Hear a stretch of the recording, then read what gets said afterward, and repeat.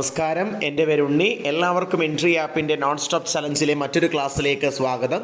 എല്ലാവരും പഠിച്ചു തുടങ്ങിയെന്ന് വിശ്വസിക്കുന്നു. കൃത്യമായിട്ട് ഓരോ പോർഷൻസും പഠിച്ച് പഠിച്ച് തീർത്തു പോകുക. മാത്സും ഇംഗ്ലീഷും മലയാളത്തിനുമായിട്ടേക്കും ഏറ്റവും കൂടുതൽ ഇമ്പോർട്ടന്റ് കൊടുക്കുക. ഞാൻ നോൺ സ്റ്റോപ്പ് ചലഞ്ചിലൂടെ നിങ്ങളെ പരിചയപ്പെടുന്ന പാഠപുസ്തകത്തിലെ ക്വസ്റ്റ്യൻസ് ആണ്. അപ്പോൾ ആ ഭാഗത്തുനിന്ന് വരുന്ന ചോദ്യങ്ങളും നമുക്ക് ഈ ക്ലാസ്സിൽ ഒരൊറ്റ ക്ലാസ് കൊണ്ട് കവർ ചെയ്ത് പോകുവാൻ പറ്റും. ഇതിന്റെ വിശദമായ ക്ലാസ്സുകളെല്ലാം നിങ്ങൾക്ക് ആപ്പിൽ ലഭ്യമാണ്. അതിലും കയറി വേണമെങ്കിൽ നമുക്ക് ക്ലാസ്സുകൾ കാണാം. ഓക്കെ അപ്പോൾ കൃത്യമായിട്ട് ക്ലാസ്സുകൾ നോക്കണം പഠിച്ചു പഠിച്ചു പോകണം അല്ലെ സിലബസ് വന്നു പരീക്ഷ നീട്ടിവെക്കും എന്ന പ്രശ്നങ്ങളൊന്നും മനസ്സിൽ തട്ടരുത്. അല്ലാതെ മഴയാണ് കൊറോണയാണ് എന്ന സാഹചര്യങ്ങളൊന്നും മനസ്സിൽ തട്ടരുത്. കേട്ടോ നമ്മുടെ മനസ്സ് ദുർബലമാകുന്ന സമയത്താണ് നമുക്ക് സാഹചര്യം എന്തായിട്ട് മാറുന്നത്? ഒരു പ്രശ്നമായിട്ട് മാറുന്നത്. കേട്ടോ? അപ്പം മനസ്സ് എപ്പോഴും ശക്തമാകുമ്പോൾ നമ്മുടെ മനസ്സ് ശക്തമാകുമ്പോൾ ഈ സാഹചര്യങ്ങളെല്ലാം നമുക്ക് എന്തായിട്ട് മാറും? അവസരമായിട്ട് മാറും. കേട്ടോ? നമുക്കറിയത്തില്ല ഇരുമ്പിനെ നശിപ്പിക്കുവാൻ സാധിക്കത്തില്ല. ഇരുമ്പിനെ നശിപ്പിക്കാൻ കഴിയില്ല. പക്ഷേ സ്വന്തം ശരീരത്തിലുള്ള തുരുമ്പിന് ആ ഇരുമ്പിനെ നശിപ്പിക്കുവാൻ കഴിയും. അതേപോലാണ് നമ്മളുടെ മനസ്സിലുള്ള പല ചിന്തകളും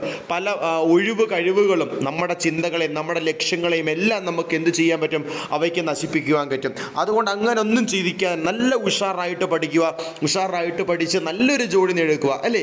നമുക്കറിയാം നല്ല നമ്മൾ നല്ല മിടുക്കന്മാരും മിടുക്കികളും ഒക്കെ ആകുന്നത് നമ്മുടെ ഗുണങ്ങൾ തിരിച്ചറിയുമ്പോഴാണ്. അതുപോലെ തന്നെ നമ്മളുടെ ബലഹീനതകൾ സ്വയം തിരിച്ചറിയുമ്പോഴാണ് നമ്മൾ ഒരു ബുദ്ധിമാനാകുന്നത്. അങ്ങനെ സ്വന്തം ബലഹീനതകളും ഗുണത്തെക്കുറിച്ചും എല്ലാം ബോധവാനായവന് മാത്രമേ ജീവിതത്തിൽ വിജയിക്കാൻ പറ്റത്തുള്ളൂ. നമുക്ക് വേറൊന്നും വേണ്ട. നമ്മളുടെ മുന്നിൽ വിജയം എന്നൊരൊറ്റ ലക്ഷ്യം മാത്രമേ ഉള്ളൂ. ആ ലക്ഷ്യത്തിന് വേണ്ടി പ്രയത്നിക്കുക. ഓക്കെ? അപ്പം നമുക്ക് എന്തായാലും ക്ലാസ്സിലേക്ക് കടക്കാം. ഇന്നത്തെ ക്ലാസ്സിൽ നമ്മൾ പരിചയപ്പെടുന്നത് പത്താം ക്ലാസ്സിലെ രണ്ടാമത്തെ പാഠത്തിൽ നിന്നും നാലാമത്തെ പാഠത്തിൽ നിന്നും ചോദിക്കാൻ സാധ്യതയുള്ള ചോദ്യങ്ങളാണ് നോൺ സ്റ്റെപ്പ് ചലഞ്ചിലൂടെ പരിചയപ്പെടുന്നത്.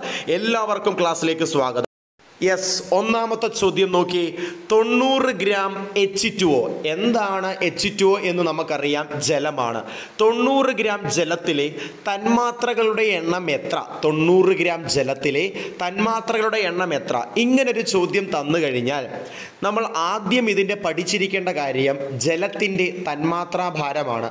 പഠിച്ചിരിക്കേണ്ട കുറച്ച് സംയുക്തങ്ങളുടെ തന്മാത്രാഭാരമുണ്ട്. അത് മനഃപ്പാടമാക്കിയിരിക്കണം ഓർത്ത് കേൾക്കുക. ജലത്തിന്റെ തന്മാത്രാഭാരം പതിനെട്ട് ആണ് കേട്ടോ? ജലത്തിന്റെ തന്മാത്രാ ഭാരം പതിനെട്ട് ഗ്രാമാണ്. എൻ എച്ച് ത്രീ അഥവാ അമോണിയ. എൻ എച്ച് ത്രീ അഥവാ അമോണിയയുടെ തന്മാത്രാ ഭാരം പതിനേഴ് ഗ്രാമാണ്. പതിനേഴ് ഗ്രാമാണ്. Okay. C O two carbon dioxide C O ടുവിന്റെ തന്മാത്രാ ഭാരം നാൽപ്പത്തി നാല് ആണ് ഈ തന്മാത്രാ ഭാരം കണ്ടുപിടിക്കുന്ന ക്ലാസ്സുകൾ കഴിഞ്ഞ നോൺ സ്റ്റോപ്പ് ചലഞ്ചിൽ എന്റെ നോൺ സ്റ്റോപ്പ് ചലഞ്ചിന്റെ ക്ലാസ്സിൽ കൊടുത്തിട്ടുണ്ട്. അപ്പോൾ ആ വീഡിയോ കാണാത്തവർ പോയി കണ്ടു കഴിഞ്ഞാൽ തന്മാത്രാഭാരം കാണുന്നത് എങ്ങനെയെന്ന് പഠിക്കാൻ പറ്റും. അപ്പോൾ എച്ച് ടു ഒയുടെ പഠിച്ചു പതിനെട്ട് ഗ്രാം പതിനെട്ട് ഗ്രാം. അപ്പോൾ ചോദ്യം നമുക്കൊന്ന് നോക്കാം. തൊണ്ണൂറ് ഗ്രാം ജലത്തിലെ തന്മാത്രയുടെ എണ്ണം എത്ര എന്ന് പരീക്ഷയ്ക്ക് ചോദിച്ചാൽ ഇതണ്ടേ നമുക്ക് ചോദ്യത്തിൽ തന്നിരിക്കുന്ന ഒരു മാസം ഉണ്ടല്ലോ ചോദ്യത്തിൽ തന്നിരിക്കുന്ന മാസം എത്രയാണ് തൊണ്ണൂറ്. ചോദ്യത്തിൽ തന്നിരിക്കുന്ന മാസം ഞാൻ ഇവിടെ എഴുതിയിട്ടുണ്ട്. തൊണ്ണൂറ് ഡിവൈഡഡ് ബൈ തൊണ്ണൂറ് ഡിവൈഡഡ് ബൈ ഒന്നുകൂടെ ചെറുതാക്കി എഴുതാം. കണ്ടേ തൊണ്ണൂറ് ഡിവൈഡഡ് ബൈ ജലത്തിന്റെ തന്മാത്രാ ഭാരം എത്രയാണ് ജലത്തിന്റെ തന്മാത്രാ ഭാരം പതിനെട്ട്. ജലത്തിന്റെ തന്മാത്രാ ഭാരം പതിനെട്ട്. അപ്പോൾ തൊണ്ണൂറിനെ പതിനെട്ട് കൊണ്ട് ഭാഗിക്കുമ്പോൾ നമുക്ക് കിട്ടിയ ഉത്തരം അഞ്ച്. നമുക്ക് എത്രയാണ് ഉത്തരം കിട്ടിയത്? അഞ്ചാണ്. ഇനി ചെയ്യേണ്ട കാര്യം ഈ അഞ്ചിനെ എന്തുകൊണ്ട് ഗുണിക്കുന്നു? അവോഗാട്രോ നമ്പർ അതായത് അഞ്ച് into six point zero two two into ten raise to twenty three കാണാൻ പറ്റുമല്ലോ? അപ്പോൾ ഇതാണ് ഇങ്ങനെയാണ് തന്മാത്രകളുടെ എണ്ണം സൂചിപ്പിക്കേണ്ടത്. അപ്പോൾ ഒന്നുകൂടി പറയാം. നമുക്കൊരു തൊണ്ണൂറ് ഗ്രാം ജലം അല്ലെങ്കിൽ നൂറ്റി എൺപത് ഗ്രാം ജലം ഇങ്ങനെയൊക്കെ തന്നിട്ട് അതിന്റെ തന്മാത്രകളുടെ എണ്ണം ചോദിച്ചാൽ നിങ്ങൾ ഇനി ഒരു കാരണവശാലും വിഷമിക്കേണ്ട. ചോദ്യത്തിൽ തന്നിരിക്കുന്ന മാസിനെ ഇവിടെ തന്നിരിക്കുന്നത് തൊണ്ണൂറാണ്. ആ മാസിനെ ജലത്തിന്റെ തന്മാത്രാ ഭാരമാണെങ്കിൽ ജലമാണ് കണ്ടുപിടിക്കണമെങ്കിൽ ജലത്തിന്റെ തന്മാത്രാ ഭാരമായ പതിനെട്ട് കൊണ്ട് ഭാഗിക്കുക. ഇവിടെ നമുക്ക് തൊണ്ണൂറാണ് ക്വസ്റ്റ്യനിൽ തന്നിരിക്കുന്ന മാസ്. അപ്പം തൊണ്ണൂറേ ഭാഗം. ജലത്തിന്റെ തന്മാത്രാ ഭാരം പതിനെട്ടാണ്. തൊണ്ണൂറ് ഭാഗം പതിനെട്ട് ഉത്തരം കിട്ടി അഞ്ച്. അതിനെ അവഗാട്രോ നമ്പർ അതായത് അവഗാട്രോ നമ്പറിന്റെ വാല്യൂ എത്രയാണെന്ന് പരീക്ഷയ്ക്ക് ചോദിക്കും. Six point zero two two into ten raised twenty three ഇതുകൊണ്ട് ഗുണിച്ചാൽ മതി. ഇത്രയേ ഉള്ളൂ. ഇനി ഞാൻ ഓപ്ഷനിൽ തന്നിരിക്കുന്നത് നോക്കാം. ഇതിൽ ഓപ്ഷൻ സി ആണ് ആൻസർ ആയിട്ട് വരുന്നത്. അല്ലേ? ഇതിൽ ഓപ്ഷൻ സി ആണ് ആൻസർ ആയിട്ട് വരുന്നത്. പക്ഷേ ഒരു കാര്യമുണ്ട്. അവിടെ അവഗാട്രോ നമ്പറിന് പകരം ഞാൻ എൻ എ എന്നാണ് സൂചിപ്പിച്ചിരിക്കുന്നത്. അതെന്താണ്? അവഗാട്രോ നമ്പറിനെ ഡിനോട്ട് ചെയ്യുന്നത് എന്തുകൊണ്ടാണ്? എൻ എ എന്നാണ്. ഒന്നെങ്കിൽ അവഗാട്രോ നമ്പറിന്റെ വാല്യൂ ഓപ്ഷനിൽ തരും. അല്ലെങ്കിൽ ഫൈവ് ഇന്റു എൻ എ അങ്ങനെ ആയിരിക്കും സൂചിപ്പിക്കേണ്ടത്. ഓക്കെ ആണല്ലോ? അപ്പോൾ എങ്ങനെയാണ് തന്മാത്രകളുടെ എണ്ണം കാണുന്നത് ചോദിച്ചാൽ ക്വസ്റ്റ്യനിൽ തന്നിരിക്കുന്ന മാസിനെ അതിന്റെ തന്മാത്രാ ഭാരം കൊണ്ട് ഭാഗിച്ചാൽ മതി. ക്വസ്റ്റ്യനിൽ തന്നിരിക്കുന്ന മാസിനെ അതിന്റെ തന്മാത്രാ ഭാരം കൊണ്ട് ഭാഗിച്ചാൽ മതി. ഓക്കെ എന്നിട്ട് അതിനെ അവഗാട്രോ നമ്പർ കൊണ്ട് മൾട്ടി ചെയ്തു പോവാം ഗുണിച്ചൊന്നും വെക്കണ്ട എത്ര റിസൾട്ടെന്ന് ഇങ്ങനെ എഴുതിയാൽ മതി. ഓക്കെ ആണല്ലോ? നമുക്ക് നോക്കാം. തന്മാത്രയുടെ എണ്ണം. കണ്ടോ? തൊണ്ണൂറ് ഭാഗം പതിനെട്ട്. അഞ്ച് കിട്ടി. ആ അഞ്ചിനെ നമ്മൾ അവഗാട്രോ നമ്പറായ six point zero two two into ten raised twenty three അല്ലെങ്കിൽ ഫൈവ് ഇന്റു എൻ എ എന്നെഴുതി ഉത്തരം അവിടെ സെറ്റ് എൻ എ എന്ന് വെച്ചാൽ എന്താണ്? Avogadro number. അവഗാട്രോ നമ്പറിന്റെ വില എത്രയാണ്? ആറ് പോയിന്റ് പൂജ്യം രണ്ട് രണ്ട് ഇന്റു പത്ത് റേസ്റ്റ് ഇരുപത്തി മൂന്ന് ഓക്കെ ആണല്ലോ അത്രയും കാര്യം. ഒക്ടോബർ ഇരുപത്തി മൂന്ന് ഒക്ടോബർ ഇരുപത്തി മൂന്നിനാണ് നമ്മൾ എന്ത് ആചരിക്കുന്നത്? മോൾ ദിനം ആചരിക്കുന്നത്. നിങ്ങൾ നോക്കിയാൽ മതി. അവഗാട്രോ നമ്പറിന്റെ ലാസ്റ്റ് നോക്കി. ടെൻ റേസ് ടു ഇരുപത്തി മൂന്ന് പത്താം മാസം എന്ന് പറയുന്നത് ഒക്ടോബർ ഇരുപത്തി മൂന്ന് ഒക്ടോബർ ഇരുപത്തി മൂന്നിനാണ് നമ്മൾ എന്ത് ആചരിക്കുന്നത്? മോൾ ദിനം ആചരിക്കുന്നത്. കേട്ടോ? ഒക്ടോബർ ഇരുപത്തി രണ്ടുണ്ട് ചന്ദ്രയാൻ ദിനം. കേട്ടോ? ഒക്ടോബർ ഇരുപത്തിരണ്ട് ചന്ദ്രയാൻ ദിനമാണെന്ന് ഓർത്തിരിക്കുക. ഒക്ടോബർ ഇരുപത്തിരണ്ട് ചന്ദ്രയാൻ ദിനമാണ് കേട്ടോ. ജൂലൈ ഇരുപത്തിയൊന്നിന്റെ പ്രത്യേകത എന്താ? ജൂലൈ ഇരുപത്തിയൊന്ന് ചന്ദ്രദിനമാണ് കേട്ടോ. ജൂലൈ ഇരുപത്തിയൊന്ന് ചന്ദ്രദിനമാണ്. ഒക്ടോബർ ഇരുപത്തിരണ്ട് ചന്ദ്രയാൻ ദിനമാണ്. ഒക്ടോബർ ഇരുപത്തിമൂന്ന് മോൾ ദിനമാണ്. ഈ ഒക്ടോബർ പതിനാറിന്റെ പ്രത്യേകത എന്താണ്? ഒക്ടോബർ പതിനാറിന്റെ പ്രത്യേകത ആ ഭക്ഷ്യ ദിനമാണ് അല്ലേ? ഒക്ടോബർ പതിനാറ് ഭക്ഷ്യ ദിനമാണെന്നും കൂടി ഓർത്തിരിക്കുക. ഓക്കെ ആണല്ലോ ഒക്ടോബർ പത്തുണ്ട്. ഒക്ടോബർ പത്ത് എന്താ? മാനസികാരോഗ്യ ദിനം. വെരി ഗുഡ് മാനസിക ആരോഗ്യ ദിനമാണ് ഒക്ടോബർ പത്ത് എന്നും കൂടി ഓർത്തിരിക്കുക. ഈ ഒക്ടോബർ ഒന്നിന്റെ പ്രത്യേകത എന്തുവാ? സയൻസുമായി ബന്ധപ്പെട്ട ഒക്ടോബർ ഒന്ന്. ദേശീയ രക്തദാന ദിനം. അല്ലെ? ഒക്ടോബർ ഒന്നിന്റെ പ്രത്യേകത ദേശീയ രക്തദാന ദിനം. ലോക രക്തദാനം എന്ന? ജൂൺ പതിനാല്. അല്ലെ? ലോക രക്തദാന ദിനം ജൂൺ പതിനാല്. ഓക്കെ നവംബർ പതിനാലിന്റെ പ്രത്യേകത എന്താണ്? നവംബർ പതിനാലിന്റെ പ്രത്യേകത? യെസ് പ്രമേഹ ദിനമാണ്. അല്ലേ പ്രമേഹ ദിനമാണ്. മറ്റൊരു പ്രത്യേകത നെഹ്റുടെയാണ് അതൊക്കെ പോട്ടെ നമുക്ക് ഏറ്റവും ഇമ്പോർട്ടന്റ് സയൻസുമായി ബന്ധപ്പെട്ട് പ്രമേഹ ദിനമാണ്. ജവഹർലാൽ നെഹ്റുവിന്റെ ജന്മദിനം ഓർച്ച അച്ചാജി ദിനം ഓർക്കണം. പ്രമേഹ ദിനവും കൂടി ഓർക്കണം. ഓക്കെ ആണല്ലോ? ക്ലിയർ ആണല്ലോ? അപ്പോൾ ലോക രക്തദാനം ജൂൺ പതിനാല്. മറക്കല്ലേ? മറക്കല്ലേ? നമ്മൾ നേരെ വീണ്ടും അടുത്ത ചോദ്യത്തിലേക്ക് വരാം. അറുപത്തിനാല് ഗ്രാം എൻ എച്ച് ത്രീയിൽ എത്ര തന്മാത്രകൾ അടങ്ങിയിട്ടുണ്ട്? ഇത് നിങ്ങൾക്ക് തന്നെ ചെയ്യാനുള്ള ചോദ്യമാണ്. നമുക്കറിയാം എൻ എച്ച് ത്രീയുടെ തന്മാത്രാഭാരം പതിനേഴ് ഗ്രാമാണ്. പതിനേഴ് ഗ്രാമാണ്. അപ്പോൾ അറുപത്തിനാല് ഗ്രാം എൻ എച്ച് ത്രീയിൽ എത്ര എണ്ണം അടങ്ങിയിട്ടുണ്ട് എന്ന് നോക്കുക. അറുപത്തി നാലല്ല അറുപത്തി എട്ട് കേട്ടോ അറുപത്തി എട്ട് ഗ്രാം എൻ എച്ച് ത്രീ എന്നാക്കണേ ചോദ്യം. അറുപത്തി എട്ട് അറുപത്തി എട്ട് ഗ്രാം എൻ എച്ച് ത്രീയിൽ എത്ര തന്മാത്രകൾ അടങ്ങിയിട്ടുണ്ട്? നമുക്കറിയാം എൻ എച്ച് ത്രീയുടെ തന്മാത്രാ ഭാരം പതിനേഴ്. ചോദ്യത്തിൽ തന്നിരിക്കുന്ന അറുപത്തിയെട്ട്. അപ്പോൾ ചോദ്യത്തിൽ തന്നിരിക്കുന്ന മാസിനെ തന്മാത്രാ ഭാരം കൊണ്ട് ഭാഗിക്കുക. നമുക്ക് ഉത്തരം കിട്ടി അവിടെ എത്രയാണെന്ന് നിങ്ങളത് എത്രയാണെന്ന് കമന്റ് ചെയ്തിരുന്നാൽ മതി. ഓക്കെ അടുത്ത രണ്ടാമത്തെ ചോദ്യം.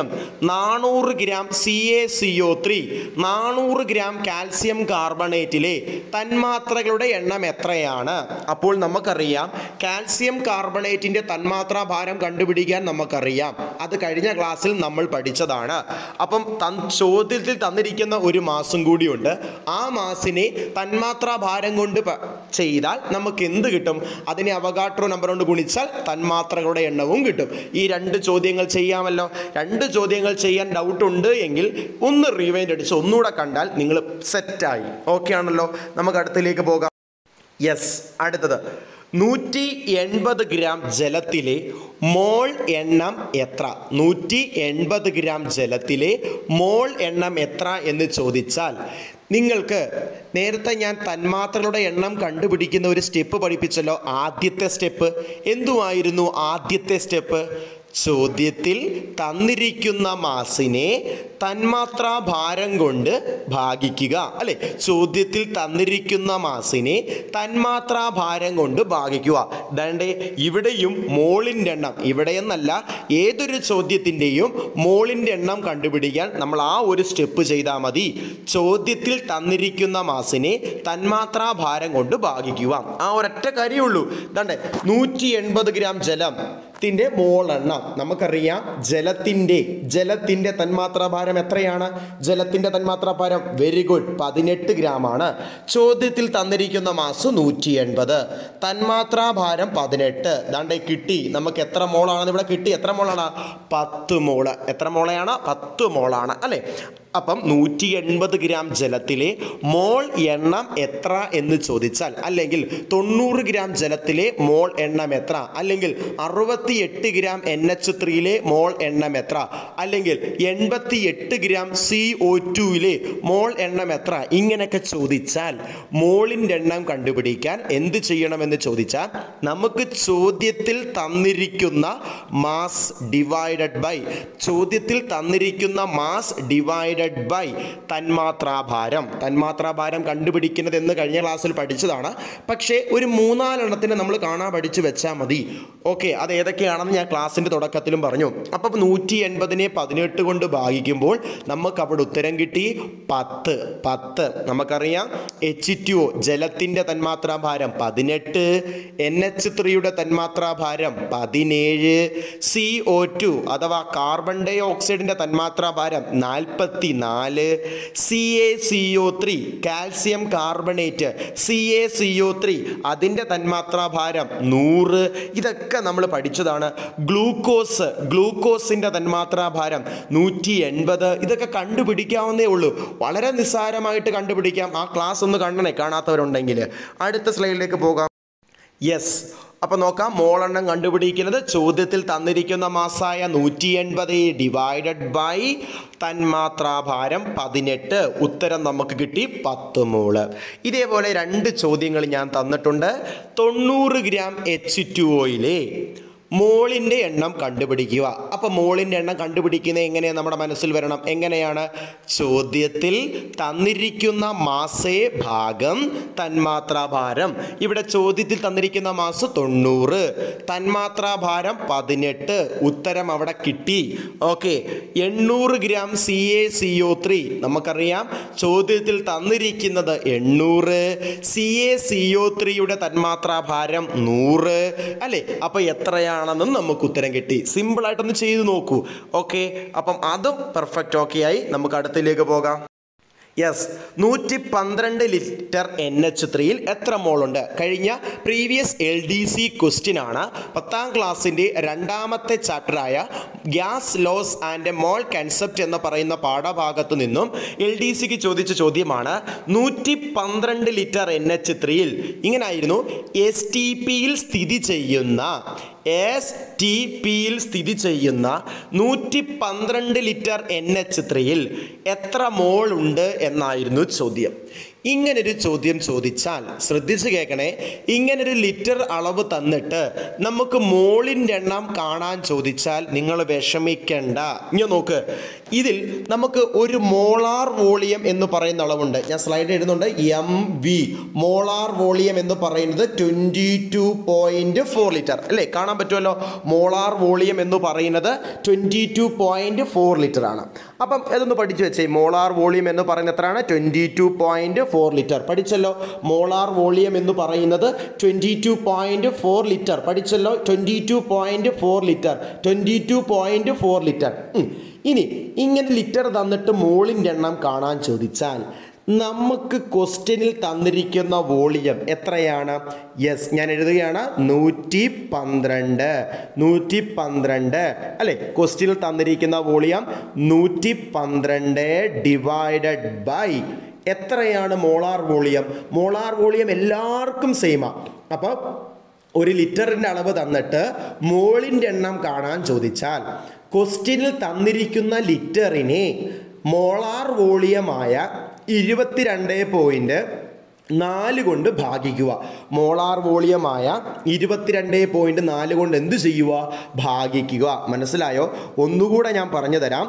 നമുക്കിങ്ങനെ ലിറ്ററിൽ നൂറ്റി പന്ത്രണ്ട് ലിറ്റർ അല്ലെങ്കിൽ എൺപത്തി ഒൻപത് പോയിന്റ് ആറ് ലിറ്റർ അല്ലെങ്കിൽ അറുപത്തി ഏഴ് പോയിന്റ് രണ്ട് ലിറ്റർ അല്ലെങ്കിൽ ഇരുന്നൂറ്റി ഇരുപത്തി നാല് ലിറ്റർ അല്ലെങ്കിൽ നാൽപ്പത്തി നാല് പോയിന്റ് എട്ട് ലിറ്റർ ഇങ്ങനെയൊക്കെ അളവ് തന്നിട്ട് ഏത് ഗ്യാസ് ആയിക്കോട്ടെ എൻ എച്ച് ത്രീയോ സി ഒ ടുവോ അങ്ങനെ ഓരോന്നിലെയും മോളിന്റെ എണ്ണം കാണാൻ ചോദിക്കും. അങ്ങനെ മോളിന്റെ എണ്ണം കാണാൻ ചോദിച്ചാൽ നമ്മൾ ചെയ്യേണ്ട കാര്യം ഈ ക്വസ്റ്റ്യനിൽ തന്നിരിക്കുന്ന ലിറ്റർ നൂറ്റി പന്ത്രണ്ട് ലിറ്റർ ഡിവൈഡഡ് ബൈ മോളാർ വോളിയമായ ഇരുപത്തിരണ്ട് പോയിന്റ് നാല്.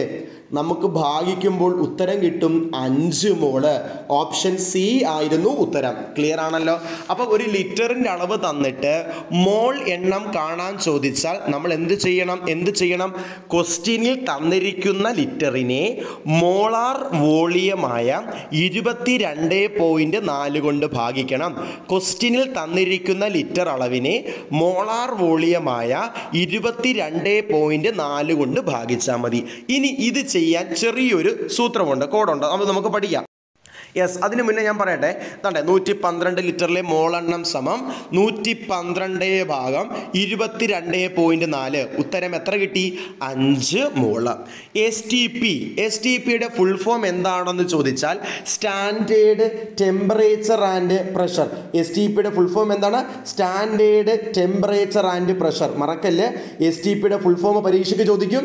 Standard temperature and pressure standard temperature and pressure എന്ന് ഓർത്തിരിക്കുക ക്ലിയർ ആണല്ലോ? മറന്നു പോകരുത് അതൊക്കെ സ്ഥിരം പരീക്ഷയ്ക്ക് ചോദിക്കുന്നതാണ് ഈ എസ് ടി പിയുടെ ഫുൾഫോമൊക്കെ അതിൽ എസ് ടി എന്ന് വെച്ചാൽ അല്ലെങ്കിൽ സ്റ്റാൻഡേർഡ് ടെമ്പറേച്ചറിന്റെ വാല്യൂ എത്രയാണെന്ന് ചോദിച്ചാൽ എത്രയാണ്? ഇരുന്നൂറ്റി എഴുപത്തി മൂന്ന് കെൽവിൻ സ്റ്റാൻഡേർഡ് ടെമ്പറേച്ചറിന്റെ വാല്യൂ എത്രയാണ്? ഇരുന്നൂറ്റി എഴുപത്തി മൂന്ന് കെൽവിൻ ഇരുന്നൂറ്റി എഴുപത്തി മൂന്ന് കെൽവിൻ സ്റ്റാൻഡേർഡ് പ്രഷർ സ്റ്റാൻഡേർഡ് പ്രഷറിന്റെ വാല്യൂ എത്രയാണെന്ന് ചോദിച്ചാൽ one A T M standard പ്രഷറിന്റെ value എത്രയാണ്? One A T M A T M എന്ന് വെച്ചാൽ അറ്റ്മോസ്ഫിയറിക് പ്രഷർ എന്നാണ് സൂചിപ്പിക്കുന്നത്. ഓക്കെ ആണല്ലോ.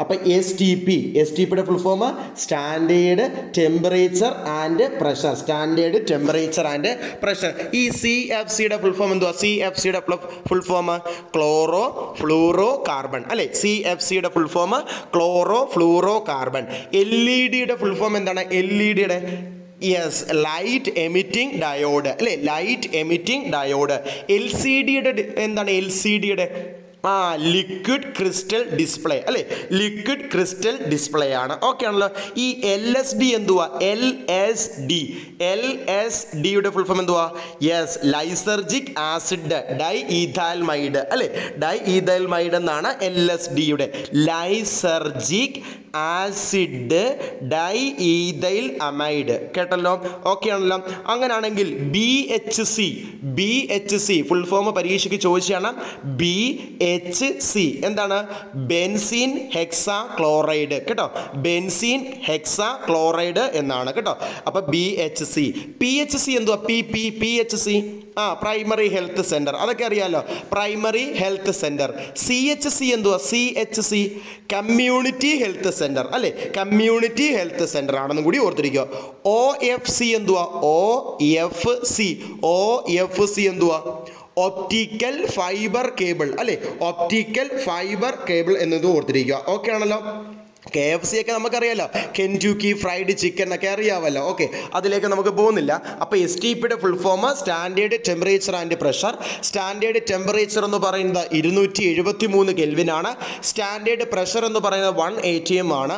മോളാർ വോളിയം എന്ന് പറയുന്നത് ഇരുപത്തിരണ്ട് പോയിന്റ് നാല് ലിറ്റർ ചോദ്യത്തിൽ നൂറ്റി പന്ത്രണ്ട് ലിറ്റർ എൻ എച്ച് ത്രീയുടെ മോളെണ്ണം കാണാൻ ചോദ്യത്തിൽ തന്നിരിക്കുന്ന ലിറ്ററായ നൂറ്റി പന്ത്രണ്ടിനെ മോളാർ വോളിയമായ ഇരുപത്തിരണ്ട് പോയിന്റ് നാല് കൊണ്ട് ഭാഗിച്ചപ്പോൾ കിട്ടി ഉത്തരം അഞ്ച് മോൾ. ഇതേപോലെ പരീക്ഷയ്ക്ക് ചോദിക്കാൻ സാധ്യതയുള്ള കുറച്ച് ചോദ്യങ്ങളാണ് ഞാൻ പരിചയപ്പെടുന്നത്. നോക്കാം. ഇതൊക്കെ നമുക്ക് എങ്ങനെ കോഡ് വെച്ച് പഠിക്കാം എന്നാണ് നോക്കാം. യെസ് എല്ലാവരും നോക്കി ആദ്യത്തത് ഇരുപത്തിരണ്ട് പോയിന്റ് നാല് ലിറ്റർ ഇരുപത്തിരണ്ട് പോയിന്റ് നാലിൽ ആദ്യത്തെ അക്കം എത്രയാണ്? ആദ്യത്തെ അക്കം എത്ര? രണ്ട്. അറുപത്തി അതേപോലെ റൈറ്റ് സൈഡിൽ നാൽപ്പത്തി നാല് പോയിന്റ് എട്ട് ലിറ്ററിൽ എത്ര മോൾ ഉണ്ടെന്ന് ചോദിക്കും. നാൽപ്പത്തി നാല് പോയിന്റ് എട്ടിൽ ആദ്യത്തക്കം നാല്. അറുപത്തിയേഴ് പോയിന്റ് രണ്ട് ലിറ്ററിൽ എത്ര മോൾ ഉണ്ടെന്ന് പരീക്ഷയ്ക്ക് ചോദിക്കും. നമുക്കറിയാം അറുപത്തിയേഴ് പോയിന്റ് രണ്ടിൽ ആദ്യത്തക്കം എത്രയാണ്? യെസ് മൂന്ന്. എൺപത്തി ഒൻപത് പോയിന്റ് ആറ് ലിറ്റർ എൺപത്തി ഒൻപത് പോയിന്റ് ആറിൽ ആദ്യത്തെ അക്കം എത്രയാണ്?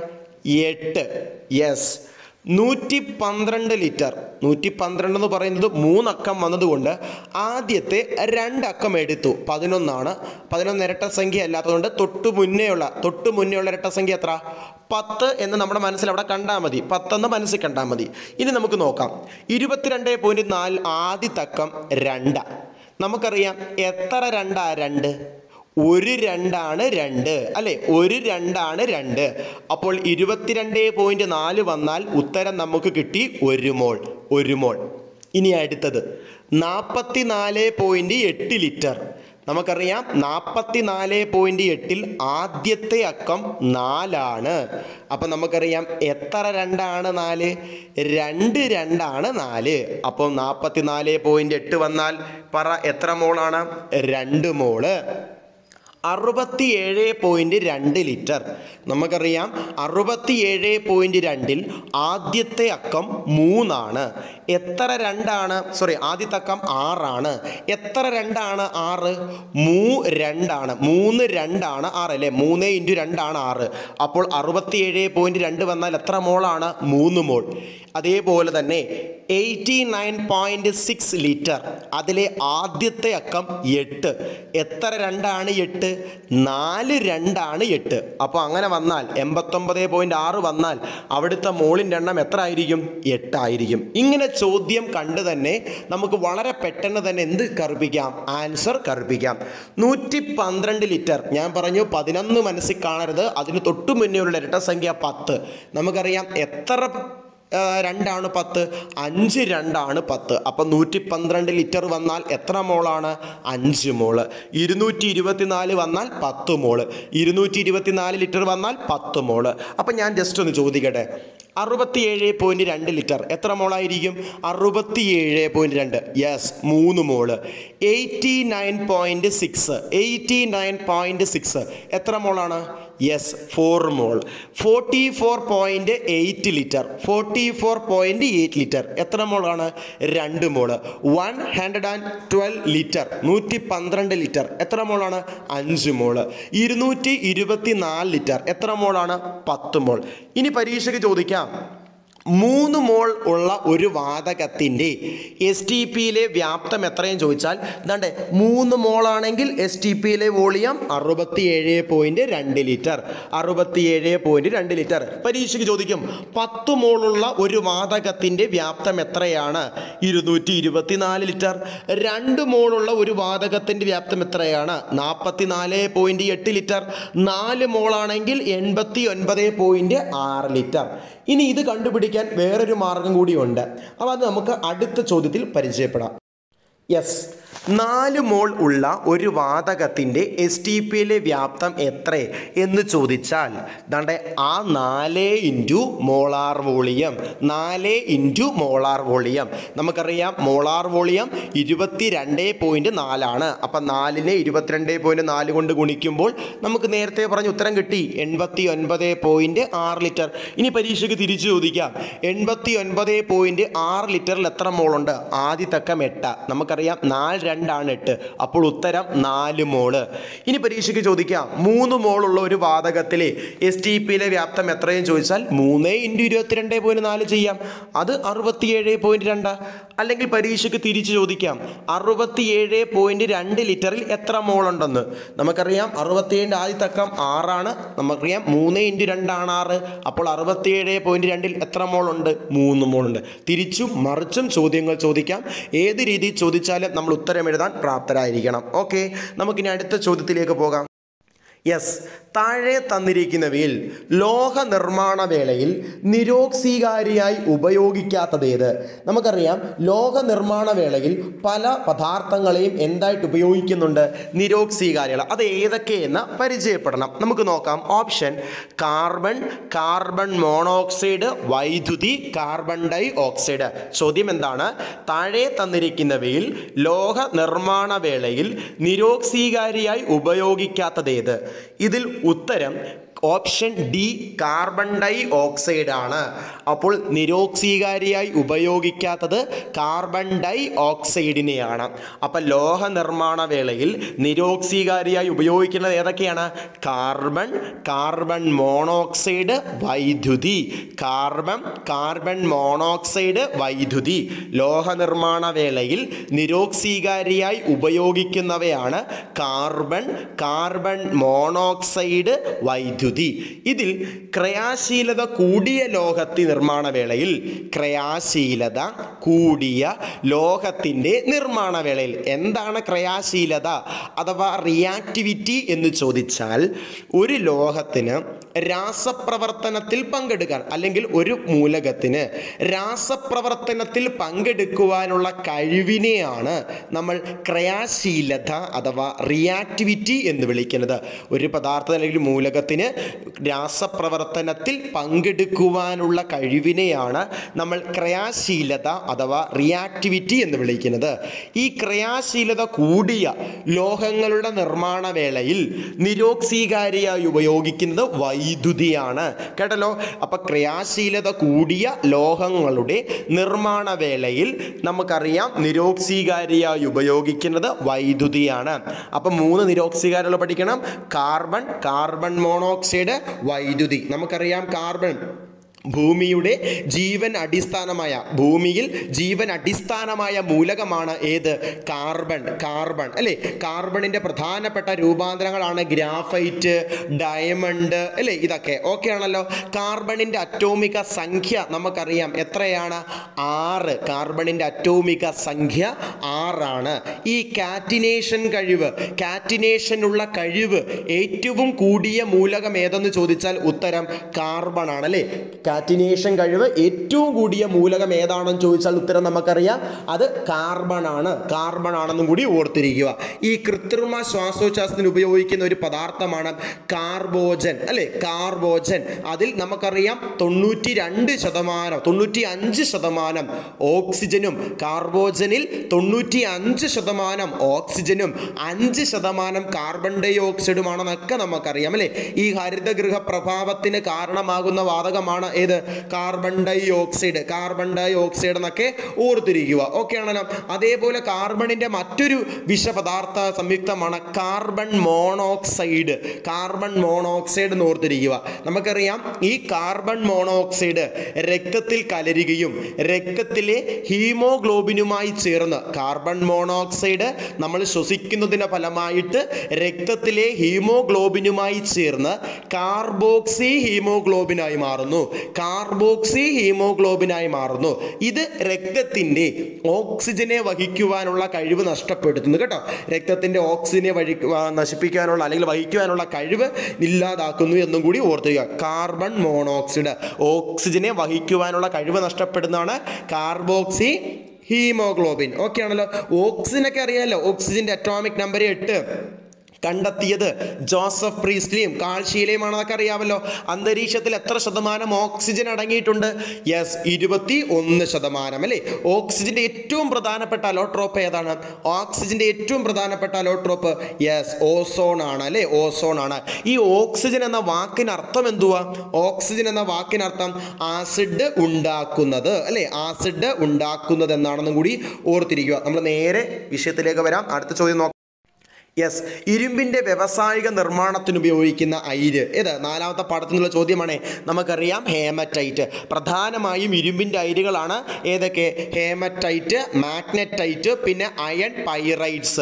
Haematite magnetite iron pyrites എന്നും കൂടി ഓർത്തിരിക്കുക. ഇതിൽ ഇരുമ്പിന്റെ വ്യവസായിക നിർമ്മാണത്തിന് ഉപയോഗിക്കുന്ന അയിരാണ് ഇത് ഹേമറ്റൈറ്റ്. ബോക്സൈറ്റ്. എന്തിന്റെ അയിരാണ്? ബോക്സൈറ്റ്. യെസ് വെരി ഗുഡ് എന്തിന്റെ അയിരാണ്? അലൂമിനിയം. അലൂമിനിയത്തിന്റെ അല്ലെ അലൂമിനിയത്തിന്റെ അയിരാണ് ഏത്? ബോക്സൈറ്റ് എന്ന് ഓർത്തിരിക്കുക. ഓക്കെ ആണല്ലോ. ഈ ഇൽമനൈറ്റ് എന്തിന്റെ അയിരാണ്? ഇൽമനൈറ്റ്. ഇൽമനൈറ്റ് എന്തിന്റെ അയിരാണ്? ടൈറ്റാനിയം. അല്ലെ ടൈറ്റാനിയത്തിന്റെ അയിരാണ് ഏത്? ഇൽമനൈറ്റ് എന്ന് ഓർത്തിരിക്കുക. ഇൽമനൈറ്റ്. അർജന്റൈറ്റ് എന്തിന്റെ അയിരാണ്? അർജന്റൈറ്റ് എന്തിന്റെ അയിരാണ്? സിൽവർ അഥവാ വെള്ളിയുടെ അയിരാണ് ഏത്? അർജന്റൈറ്റ്. അർജന്റൈറ്റ്. ഓക്കെ ആണല്ലോ. മോണോസൈറ്റ്. എന്തിന്റെ അയിരാണ് മോണോസൈറ്റ്? ഈ മോണോസൈറ്റ് എന്തിന്റെ? യെസ് വെരി ഗുഡ് എന്തിന്റെയാണ്? തോറിയം. അല്ലേ? തോറിയത്തിന്റെ അയിരാണ് monazite. Ilmenite titanium argentite silver bauxite അലൂമിനിയമാണ്. Okay ആണല്ലോ. ഇനിയുണ്ട് ഡോളമൈറ്റ്. ഡോളമൈറ്റ് എന്തിന്റെ അയിര? മഗ്നീഷ്യം. അല്ലേ? മഗ്നീഷ്യത്തിന്റെ അയിരാണ് എന്ത്? ഡോളമൈറ്റ്. ഡോളമൈറ്റ്. ഓക്കെ ആണല്ലോ. മാഗ്നറ്റൈറ്റ് ഹേമറ്റൈറ്റ് ഇരുമ്പ്. ഇനിയുണ്ട് കാസിറ്ററൈറ്റ്. കാസിറ്ററൈറ്റ് എന്തിന്റെ അയിര? കാസിറ്ററൈറ്റ്. Very good. ടിന്ന്. ടിന്നിന്റെ അയിരാണ് ഏത്? കാസിറ്ററൈറ്റ്. കാസിറ്ററൈറ്റ് എന്നും കൂടി ഓർത്തിരിക്കുക. അപ്പോൾ നമ്മൾ ഇവിടെ പറയുന്നത് എന്താണ്? ഇരുമ്പിന്റെ വ്യവസായിക നിർമ്മാണത്തിന് ഉപയോഗിക്കുന്ന അയിരാണ് ഹേമറ്റൈറ്റ്. ഈ ഇരുമ്പിന്റെ വ്യവസായിക നിർമ്മാണത്തിന് ഉപയോഗിക്കുന്ന ഉപകരണമുണ്ട് ബ്ലാസ്റ്റ് ഫർണസ്. ഇരുമ്പിന്റെ വ്യാവസായിക നിർമ്മാണത്തിന് ഉപയോഗിക്കുന്ന ഉപകരണമാണ് ഏത് ബ്ലാസ്റ്റ് ഫർണസ് ഒരു അയിരിലടങ്ങിയിരിക്കുന്ന വിഷപദാർത്ഥ ഇമ്പ്യൂരിറ്റി അപദ്രവ്യത്തെ ഒരു അയിരിലടങ്ങിയിരിക്കുന്ന വേസ്റ്റിനെ അല്ലെങ്കിൽ അപദ്രവ്യത്തെ അല്ലെങ്കിൽ ഇമ്പ്യൂരിറ്റിയെ സയന്റിഫിക്കായി വിളിക്കുന്ന പേരാണ് ഗ്യാങ് എന്താണ്? ഗ്യാങ് കേട്ടോ? ഒരു അയിരിലടങ്ങിയിരിക്കുന്ന അപദ്രവ്യം അഥവാ ഇമ്പ്യൂരിറ്റി അഥവാ വേസ്റ്റ് ഇതിനെ വിളിക്കുന്ന പേരാണ് ഗ്യാങ് അപ്പോൾ ഇരുമ്പിന്റെ വ്യവസായിക നിർമ്മാണത്തിലെ ഏറ്റവും പ്രധാനപ്പെട്ട ഗ്യാങ് ആണ് ഏത്? സിലിക്കൺ ഡൈ ഓക്സൈഡ് ഏതാണ്? സിലിക്കൺ ഡൈ ഓക്സൈഡ് ഇരുമ്പിന്റെ വ്യവസായിക നിർമ്മാണത്തിലെ ഗ്യാങ് ആണ് ഏത്?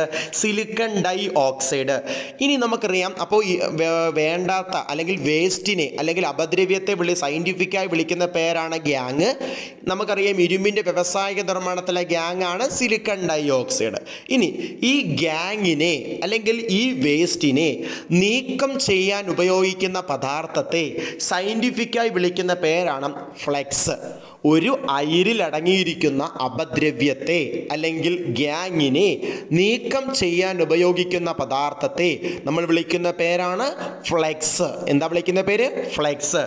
അപ്പോൾ അവിടെ ഒരു ചോദ്യമുണ്ട്. ഇരുമ്പിന്റെ വ്യവസായിക നിർമ്മാണത്തിലെ ഫ്ലെക്സ് ആണ് കാൽസ്യം ഓക്സൈഡ്. Calcium oxide. കേട്ടോ? ഇരുമ്പിന്റെ വ്യവസായിക നിർമ്മാണത്തിലെ ഫ്ലെക്സ് ഏതാണെന്ന് ചോദിച്ചാൽ കാൽസ്യം ഓക്സൈഡ് അല്ലെങ്കിൽ ഗ്യാങ് ആയ സിലിക്കൺ ഡൈ ഓക്സൈഡിനെ നീക്കം ചെയ്യാൻ ഉപയോഗിക്കുന്ന ഫ്ലെക്സ് ആണ് ഏത്? Calcium oxide. ഇനി ഗ്യാങ്ങും ഫ്ലെക്സും കൂടി കൂടി ചേരുമ്പോൾ ഒരു പദാർത്ഥം ഉണ്ടാകും. ആ പദാർത്ഥത്തിനെ നമ്മൾ സയന്റിഫിക്കലി വിളിക്കുന്ന പേരാണ് സ്ലാഗ് എന്താ വിളിക്കുന്ന പേര്? സ്ലാഗ് ഓക്കെ ഇരുമ്പിന്റെ വ്യവസായിക നിർമ്മാണത്തിലെ സ്ലാഗ് ആണ് ഏത്? C A S I O three അതായത് കാൽസ്യം സിലിക്കേറ്റ് ഏതാണ്?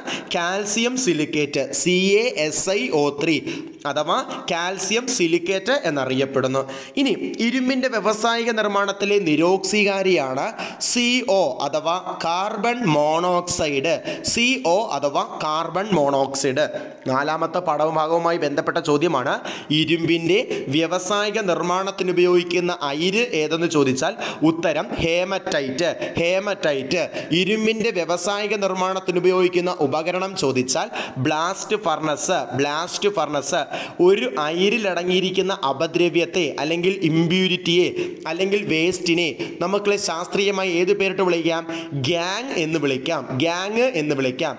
ആ ഗ്യാങ്ങിനെ നീക്കം ചെയ്യാൻ ഉപയോഗിക്കുന്ന പദാർത്ഥത്തെ ശാസ്ത്രീയമായി എന്ത് വിളിക്കാം? ഫ്ലെക്സ് എന്ന് വിളിക്കാം. ഫ്ലെക്സ് എന്ന് വിളിക്കാം. ഗ്യാങ്ങും ഫ്ലെക്സും കൂടി ചേരുമ്പോൾ ഉണ്ടാകുന്ന പദാർത്ഥത്തെ എന്ത് വിളിക്കാം? സ്ലാഗ് എന്ന് വിളിക്കാം.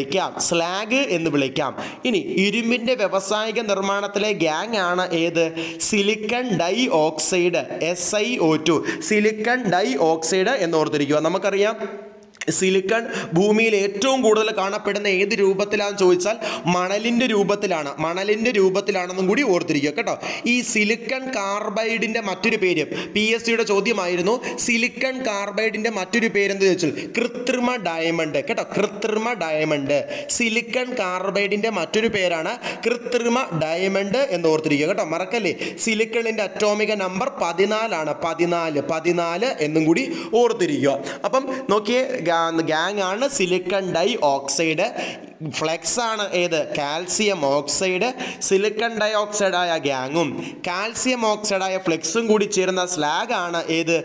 കാൽസ്യം സിലിക്കേറ്റ് ഇരുമ്പിന്റെ വ്യവസായിക നിർമ്മാണത്തിലെ നിരോക്സീകാരിയാണ് ഏത്? കാർബൺ മോണോക്സൈഡ് എന്നും ഓർത്തിരിക്കുക. അടുത്ത് നോക്കാം. വാതകത്തിന്റെ മർദ്ദവും വ്യാപ്തവും തമ്മിലുള്ള ബന്ധം കാണിക്കുന്ന നിയമം ഏത്? പ്രീവിയസ് ക്വസ്റ്റ്യൻ ഒരു വാതകത്തിന്റെ മർദ്ദവും വ്യാപ്തവും തമ്മിലുള്ള ബന്ധം കാണിക്കുന്ന നിയമം ഏത്? ഓർത്തിരിക്കുക. ഉത്തരം ബോയിൽസ് ലോയാണ്. ബോയിൽസ് നിയമമാണ് ഇതിന്റെ ഉത്തരം. അപ്പം അത് മറന്നുപോലെ അപ്പോൾ ബോയിൽ സീമം എന്താണ്? ഒരു വാതകത്തിന്റെ മർദ്ദവും വ്യാപ്തവും തമ്മിലുള്ള ബന്ധം കാണിക്കുന്ന നിയമം ഏത് എന്ന് ചോദിച്ചാൽ ഉത്തരം ബോയിൽസ് നിയമമാണ്. നമുക്കറിയാം. അപ്പം വ്യാപ്തവും താപനിലയും ഒരു വാതകത്തിന്റെ വ്യാപ്തവും താപനിലയും തമ്മിലുള്ള ബന്ധം കാണിക്കുന്ന നിയമമാണ് ഏത്? ചാൾസ് നിയമം. ചാൾസ് നിയമം. ഇനി വ്യാപ്തവും കണികകളുടെ എണ്ണവും തമ്മിലുള്ള ബന്ധം കാണിക്കുന്ന നിയമമാണ് ഏത്? അവഗാട്രോ നിയമം. അവഗാട്രോ നിയമം. ഓർത്തിരിക്കണേ ഈ ബോയിൽസ് നിയമം പറയുന്നത് എന്താണെന്ന് വെച്ച് കഴിഞ്ഞാൽ മർദ്ദം വ്യാപ്തത്തിന് വിപരീത അനുപാതത്തിലാണ്. അല്ലെങ്കിൽ വ്യാപ്തം മർദ്ദത്തിന് വിപരീത അനുപാതത്തിലാണ് എന്നാണ് ഏത് ലോ പറയുന്നത്? ബോയിൽസ് ലോ അല്ലെങ്കിൽ ബോയിൽസ് നിയമം പറയുന്നത് മർദ്ദവും വ്യാപ്തവും വിപരീത അനുപാതത്തിലാണ്. മർദ്ദവും വ്യാപ്തവും വിപരീത അനുപാതത്തിലാണ് എന്നാണ് ബോയിൽസ് നിയമം പറയുന്നത്. അതായത് ബോയിൽസ് നിയമം അനുസരിച്ച് മർദ്ദം കൂടുമ്പോൾ വ്യാപ്തം കുറയുന്നു. മർദ്ദം കൂടുമ്പോൾ വ്യാപ്തം കുറയുന്നു എന്ന് ഓർത്തിരിക്കുക. നമുക്കറിയാം ഇപ്പോൾ ഒരു അക്വേറിയം. അക്വേറിയത്തിന്റെ അടിത്തട്ടിൽ വെള്ളം ഇങ്ങനെ ഹോൾഡ് ചെയ്ത് വെച്ചിരിക്കുക അപ്പം നിങ്ങൾ തന്നെ ഊഹിച്ച് പറ. ഇപ്പം ഞാനവിടെ ഒരു ബീക്കർ വരച്ചപ്പോൾ ഈ ബീക്കറിന് വെള്ളം നിൽപ്പുണ്ട് പകുതിയിൽ കൂടുതൽ വെള്ളമുണ്ട്. ഈ ബീക്കറിന്റെ ഏറ്റവും അടിത്തട്ടിലുള്ള മർദ്ദം കൂടുതലായിരിക്കുമോ കുറവായിരിക്കുമോ? നിങ്ങൾ തന്നെ പറ. വെള്ളം ഇങ്ങനെ നിൽക്കുന്നതാണ് കെട്ടി നിൽക്കുകയാണ്. അപ്പോൾ ഈ ബീക്കറിന്റെ ഏറ്റവും അടിത്തട്ടിൽ മർദ്ദം കൂടുതലായിരിക്കുമോ കുറവായിരിക്കുമോ? യെസ് മർദ്ദം കൂടുതലായിരിക്കും. അപ്പോൾ വ്യാപ്തം എന്ത് ചെയ്യും? അപ്പോൾ വ്യാപ്തം എന്തായിരിക്കും? കുറവായിരിക്കും. അല്ലേ? മർദ്ദം കൂടുമ്പോൾ വ്യാപ്തം കുറയുന്നു. അക്വേറിയത്തിൽ വെള്ളം കെട്ടി നിൽക്കുന്നതിന്റെ ഫലമായിട്ട് ഈ അക്വേറിയത്തിന്റെ ഏറ്റവും അടിത്തട്ടിൽ മർദ്ദം കൂടുതലാണ്. തൽഫലമായി വ്യാപ്തം കുറയുന്നു. അതിനൊരു ഉദാഹരണമാണ്. അക്വേറിയത്തിലെ വായു കുമിളകളുടെ വലുപ്പം. വലുപ്പം എന്നുണ്ടേ അവിടെ? കേട്ടോ. അക്വേറിയത്തിലെ വായു കുമിളകൾ മുകളിലേക്ക് വരുന്തോറും വലുപ്പം കൂടുന്നു. അക്വേറിയത്തിലെ വായു കുമിളകൾ ഒരു ഐഡിയ വരണം. അക്വേറിയത്തിലെ വായു കുമിളകൾ താഴെ നിന്ന് മുകളിലേക്ക് വരുന്തോറും അവരുടെ വലിപ്പം കൂടി വരുന്നു. എന്ന് കാരണം എന്താണെന്ന് വെച്ചാൽ അക്വേറിയത്തിന്റെ ഏറ്റവും താഴെത്തട്ടിൽ മർദ്ദം കൂടുതലല്ലേ? അപ്പോൾ വോളിയം എന്തു ചെയ്യും? വോളിയം കുറയും. അതിന്റെ ഫലമായി വലിപ്പം കുറയും. ഇനി അക്വേറിയത്തിന് മുകളിലേക്ക് വരുംതോറും മർദ്ദം കുറഞ്ഞു കുറഞ്ഞു കുറഞ്ഞു വരും. അപ്പം മർദ്ദം കുറഞ്ഞു കുറഞ്ഞു കുറഞ്ഞു വരുന്നതിന്റെ ഫലമായിട്ട് വ്യാപ്തം കൂടിക്കൂടി കൂടി വരും. അങ്ങനെ കുമിളകളുടെ വലിപ്പവും കൂടി വരും. ഇത് ഏത് നിയമവുമായി ബന്ധപ്പെട്ട് എന്ന് ചോദിച്ചാൽ ഉത്തരം എന്താണ്? ബോയിൽസ് ലോയാണ് ബോയിൽസ് ലോയാണെന്നും കൂടി ഓർത്തിരിക്കുക. അടുത്ത ഒരു ബലൂൺ വെയിലത്ത് വെച്ചാൽ പൊട്ടിപ്പോകുന്നു. ഇതിന് കാരണമായ നിയമം ഏത് എന്ന് പരീക്ഷയ്ക്ക് ചോദിച്ചാൽ ഒന്ന് കേട്ടിരിക്കണേ. ഈ ചാൾസ് നിയമം എന്ന് പറയുന്നത് എന്താണ്? ഒരു വാതകത്തിന്റെ വ്യാപ്തവും കെൽവിൻ സ്കെയിലിലെ താപനിലയും അല്ലെങ്കിൽ താപനില എന്ന് മാത്രം പറഞ്ഞാലും മതി പി എസ് സി ഉദ്യോഗാർത്ഥികൾ അപ്പോൾ ഒരു വാതകത്തിന്റെ വ്യാപ്തവും താപനിലയും നേർ അനുപാതത്തിലായിരിക്കും. ഇങ്ങനെ പ്രസ്താവിക്കുന്ന ഒരു നിയമമാണ് ചാൾസ് നിയമം. ഒരു വാതകത്തിന്റെ വ്യാപ്തവും അതിന്റെ താപനിലയും നേർ അനുപാതത്തിലായിരിക്കും. അതായത് താപനില കൂടുമ്പോൾ വ്യാപ്തവും കൂടുന്നു. താപനില കൂടുമ്പോൾ വ്യാപ്തവും കൂടുന്നു. ഇപ്പം ഞാനൊരു ബലൂൺ എടുത്തിട്ട് വെയിലത്ത് കൊണ്ടുവെക്കുന്നു. കുറച്ച് സമയത്തിന് ശേഷം അത് പൊട്ടിപ്പോകും. കാരണം താപനില കൂടുമ്പോൾ ആ ബലൂണിന്റെ വ്യാപ്തവും കൂടുന്നു. മനസ്സിലായോ? അല്ലെങ്കിൽ അതിനുള്ളിലെ വായുവിന്റെ വ്യാപ്തം കൂടി കൂടി കൂടി അത് വലുതായി വലുതായി വലുതായി അതെന്ത് ചെയ്യുന്നു? പൊട്ടിപ്പോകുന്നു. അതാ പറയുന്നത് ബലൂൺ വെയിലത്ത് വെച്ചാൽ പൊട്ടിപ്പോകുന്നു. ഇതുമായി ബന്ധപ്പെട്ട നിയമം ഏത് എന്ന് ചോദിച്ചാൽ ഉത്തരം ചാൾസ് നിയമമാണ്. അപ്പോൾ ഇന്നത്തെ ക്ലാസ്സിൽ പറഞ്ഞ ഈ അഞ്ച് ചോദ്യങ്ങളും പാഠഭാഗവുമായി ബന്ധപ്പെട്ട ചോദ്യങ്ങളാണ് കൃത്യമായി മനസ്സിലാക്കാൻ സാധിച്ചു എന്ന് വിശ്വസിക്കുന്നു. നിങ്ങളുടെ അഭിപ്രായങ്ങൾ എന്തായാലും എത്രത്തോളം ആയാലും എങ്ങനത്തെ ആയാലും അത് കമന്റുകളായി രേഖപ്പെടുത്തണം.